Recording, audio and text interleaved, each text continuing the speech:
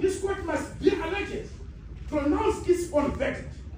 If I have strayed from any of the virtues of Ubuntu, if I was wrong for me to join the call for the justice for Moreblessing Ali, if I should have refrained from offering legal representation to a family in grief, then I will gladly accept whatever punishment is meted against me.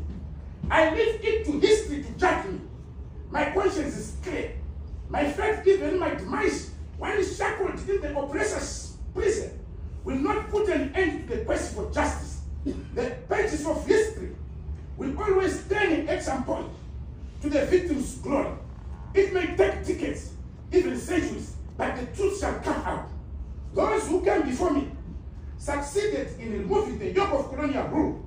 It took them close to a century to do so. I am only 50 years old. The words of Chikurubi has been my compassion, was, has been my companion and friend for over 10 months now. Prison walls confined the iconic Nelson Mandela for 27 years, but, not, but did not confine his ideals and did not kill his spirit. Prison walls confined several leaders of the liberation struggle, but it failed to contain the ideals they stood for.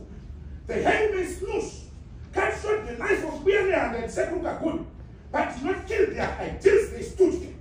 Whatever penalty that may be imposed against me will not contain the ideal of seeking justice against the callous matter of Moreblessing Ali, nor will it contain the ideal of a free, peaceful, and just Zimbabwe.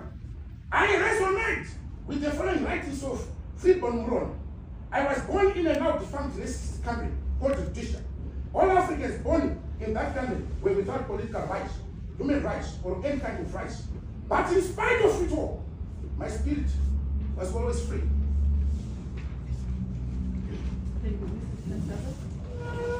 Very much.